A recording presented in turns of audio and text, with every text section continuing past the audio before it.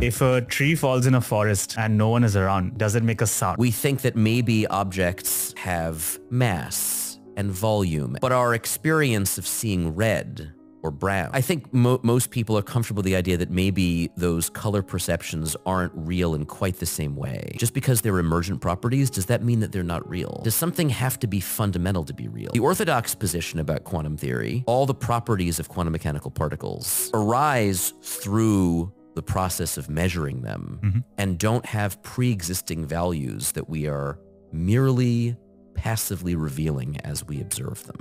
Because if nothing is real, then apparently we're not real. And if we're not real, then who's doing the questioning about what's real? You run right into these old thought experiments that go back to Descartes. Descartes says, I think, therefore I am. That means there's something real. The prospect that at the bottom of reality is just void, is nothing, I find emotionally terrifying. And maybe that's irrational.